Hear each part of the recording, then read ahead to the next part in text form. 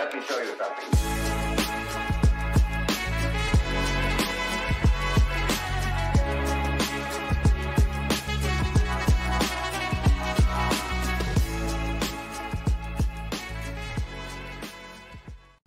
Welcome back to the channel, guys. My name is Fen.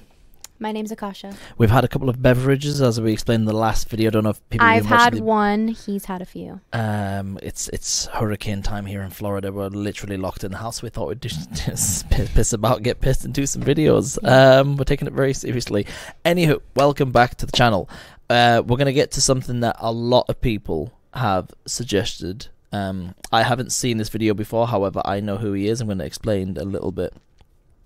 You might have seen me watching the TV a couple of times. Eight out of ten cats. Yeah.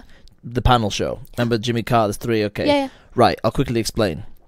There is 8 out of 10 Cats, which is a comedy panel show. Okay? It's just like six comedians and then Jimmy Carr's the host, blah, blah, blah. It's Right. all just comedy and they talk about what happened in the week and, you know, they make the, you know, anecdotes or whatever.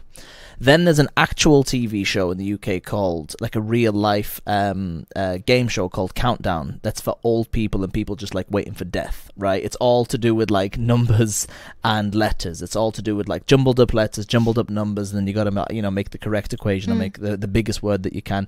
It's just it's designed for old people. Okay, it comes on at four o'clock in the afternoon. The oldies love it. Someone at Channel 4 in the UK decided to put the two shows together, right? Which probably sounds like, I don't know, man, like a late night, you know, kind of out there, edgy, sweary show with an old, but actually it works brilliantly. Anyway, long story short, in that show, in the 8 out of 10 cats, when they brought it together with Countdown, there is a gentleman who recently passed away, a legend of the game, Sean Lock. Yeah. I Okay. I heard of that. I remember because I, I mentioned it to you because I was quite. I was like, oh no, Sean Lock passed away. yeah, you're now- sad. Here's the thing. I'm going to divide the audience right now about this, but uh, as you know, Your I favorite don't. thing to I, do. That's my favorite, and I don't care.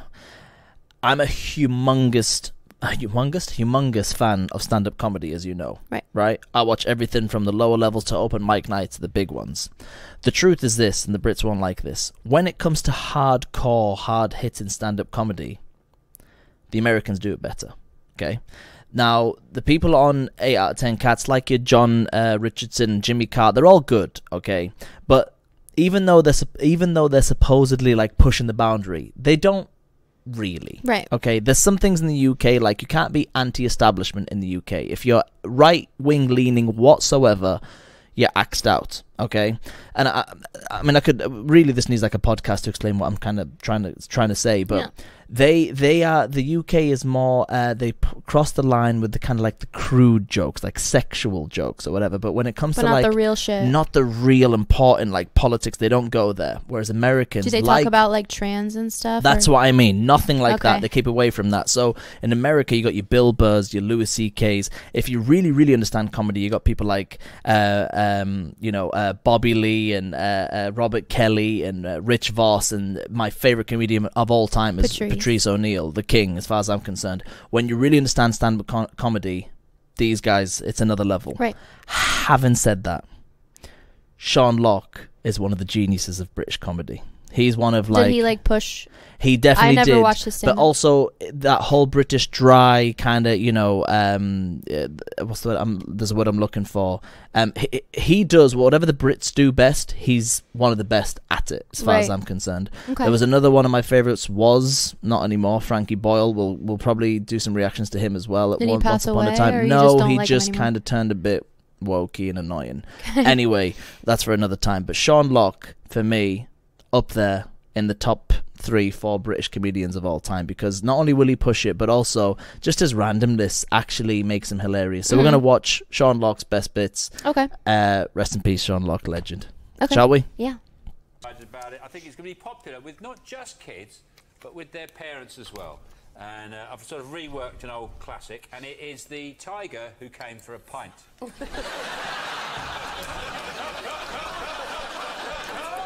it's a lovely story. It mixes up two of my favourite things, which is uh, tigers and alcohol.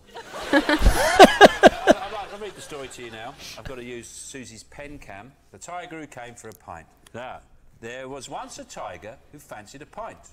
Not Carling, of course. That was too weak and too gassy. He wanted a pint that packs a punch like Stella or Kronenbourg. Just random. The tiger was thirsty and needed something to wash down the zookeeper he'd just eaten. he liked the atmosphere He made this. Plus, plus, he was barred from the king's head for mauling the darts team. Oh my god. like a children's book. Tiger drank his pint quietly beside the quiz machine. Soon, what with the beer, fags, and flame grilled McCoys, he'd spent all his money. but he didn't half have a thirst on. so, when George went to the cellar to flush out the strongbow line, the tiger drank all the beer from all the kegs and all the rum they were saving for Caribbean night. Then he ate the meat raffle. Tiger. Then he went to toilet on the bar. this is going to sell millions. We're going to have to call you a minicab home, Tiger, said George, the deputy manager, bursting from the cellar. Where do you want taking? To the zoo, you silly bollocks. So George, the deputy manager, called the Tiger a cab. It took a while to get one because the first two drivers they sent said, Are you mental? Finally, Pavel from Station Cars agreed to do The journey went smoothly, and eventually, after a lot of questioning, the Tiger said, Look, for the last time, it's not a onesie.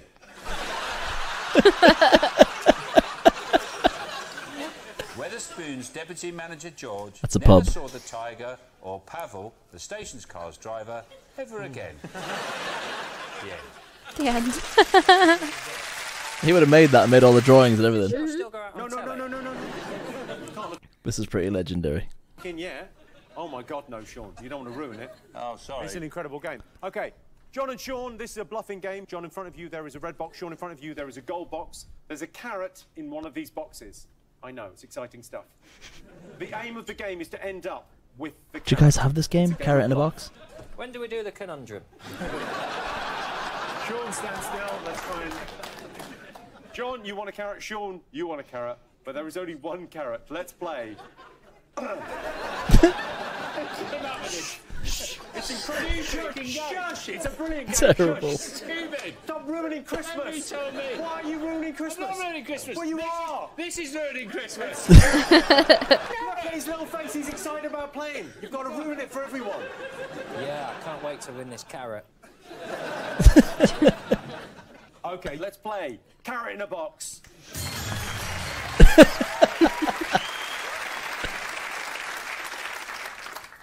okay, Sean, you can look inside your box. Jon, you cannot look inside your box.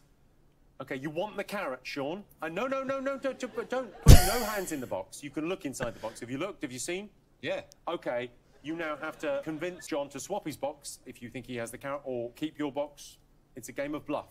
The winner is the one with the carrot. Oh, I, I'm, I'll, I'll keep this.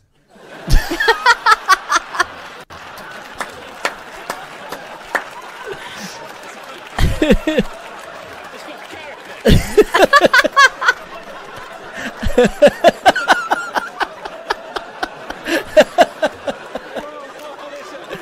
or not? I mean, he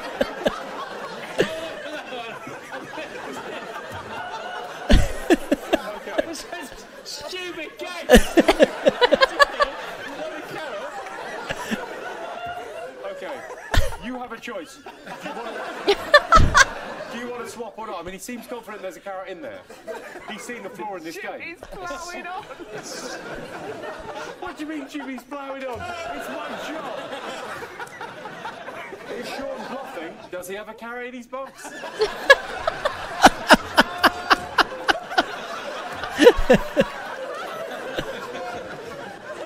It's a real quandary for me. He can another box. Yeah, he's allowed to swap Yeah. if he wants So to I can't, swap. why can't I just keep my box? No, he can swap if he Well, wants I to can swap. refuse to swap it. No. Don't make somebody swap something. They don't want to swap it. Have you never played Carrot in a Box before? You never, have you never seen the show? I must It's have been on prime holiday. time. I must have been on holiday that week. It was allowed out.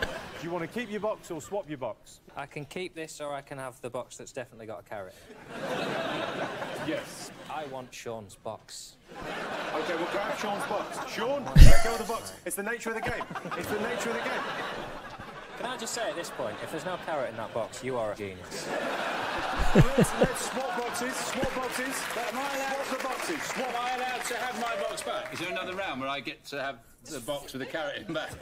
I'm, I'm going to level with you, fellas. We've never played this game before. we do not know how it ends. Okay, so Jon, you're now allowed to look in your box. Right. And, and I believe you can reveal.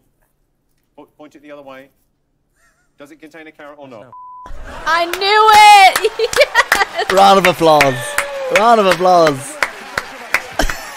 that's so good. I knew it. That is experience. oh, Yeah. because they're both brilliant, you know, But comedians he's in their just own like, right. but hit the what's supposed to be funny is like, I'll quick. just keep it. He was yeah. so quick. He was well ahead of everybody. Yeah, yeah, yeah. He had me the first He time I got saw everybody fooled. Yeah. I'm going to go and sit down now and think about what we've done. if you could bring something extinct back to life, what would it be? Well, hmm. glad you asked me, Jimmy. First off, I thought, oh, I'd like to do Jurassic Park, but make it safe. I'd take all their teeth and nails out. Tyrannosaurus Rex with no teeth would just be like,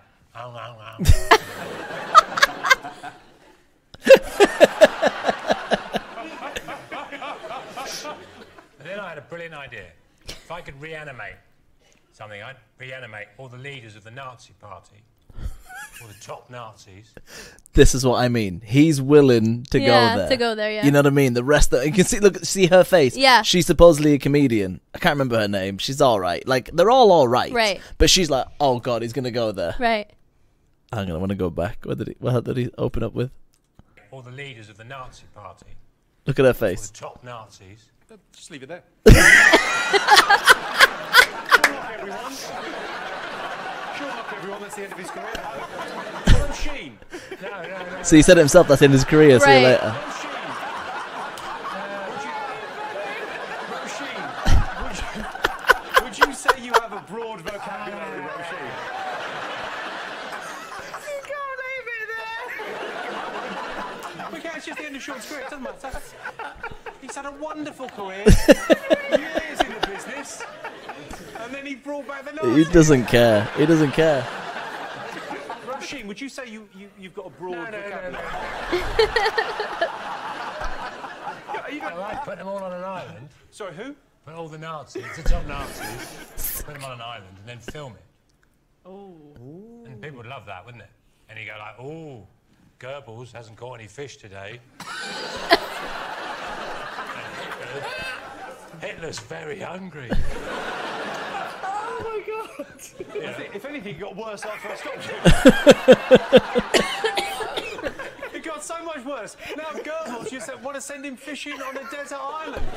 I want to take the Nazis, I want to reanimate them and put them in paradise. it's they deserve. No, they don't get any supplies. They've got to fend for themselves. Has, it, has this show got a name? Yeah, Nazi Island. Uh, Rachel, you must get recognised by your fans all the time. Do you ever wish you could sort of fly under the radar? Um, my favourite time of the year is when I just get to go skiing and you haven't got to do your hair and makeup, you haven't got to have all that awkwardness. Just put your helmet on, put your snood on, no makeup, it's great. And actually, I've brought my skiing stuff with Let's me have a look. actually, if I just make See, myself 'cause more I'm, comfortable. I'm pretty sure I would recognise Um, you in skiing gear. So I've got um, a beard and uh, Viking horns. And um, this is kind of my look. So much more comfortable and it's warm. And um, you just don't have to have that awkward social, like, is that you? Is it not? How's, how's Jimmy? That kind of thing. That's a challenging wank.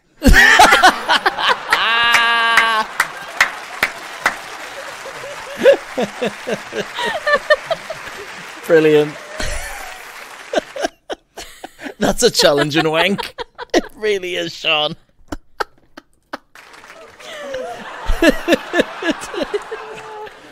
Because she's like the show hottie. Yes, you I know what got mean? it. Yes.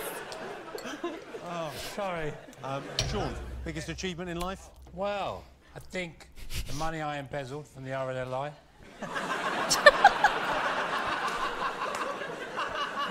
That feels like something I could be interested in. Yeah. Well, that time I went seal clubbing.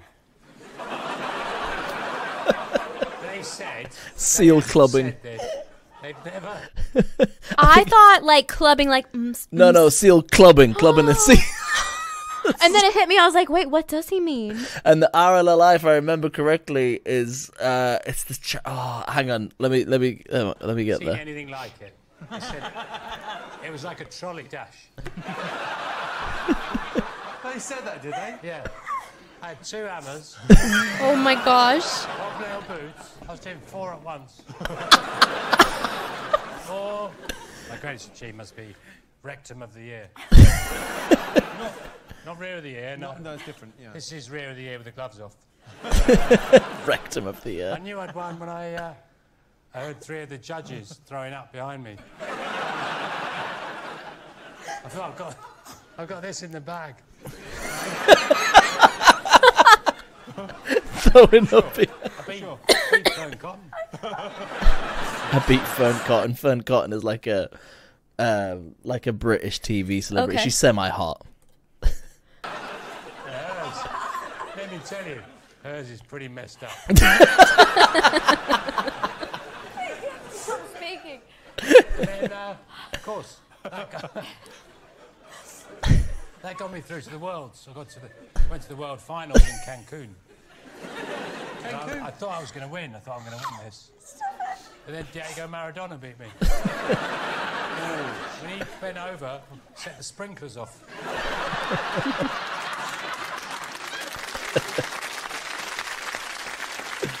You, uh, do you want to play along for fun, sort of personal battle between No, I'm us? fine, I'm fine, I'm fine. You could play for Claude.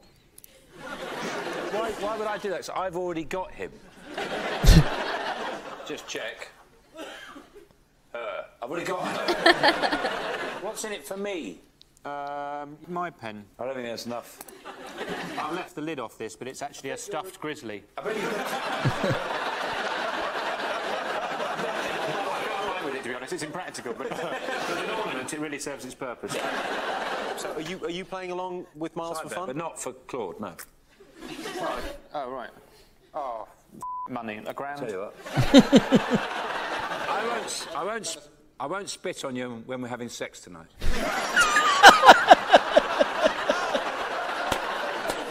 Good luck trying it without spit.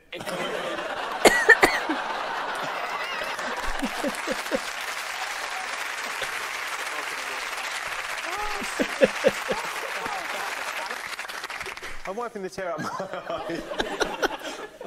Sean's just very kindly offered not to spit on one of our guests.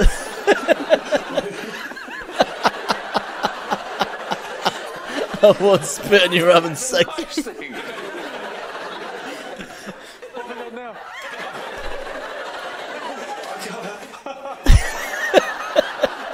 You say I'm not a nice guy, but I do. I do nice things.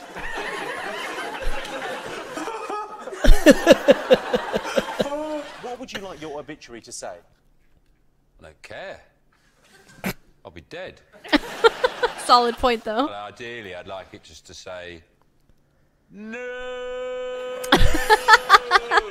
Why? No! Ah! you can't write tears, Jimmy.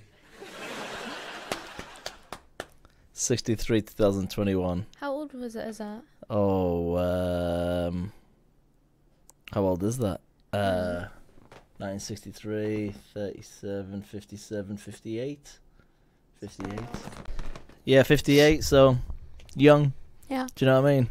But uh, while I was watching him there, I just thought if- if there's any, you know, because we do have a bit of an American audience, I think the best way to describe Sean Lock is he's our. Do you know who Norm MacDonald is? Heard of the name, just that kind of comedy, just the, the just a always a step ahead of everybody else. That's what Norm Macdonald was, and I think that's what Sean Lock was as well. So, um, yeah, man, good.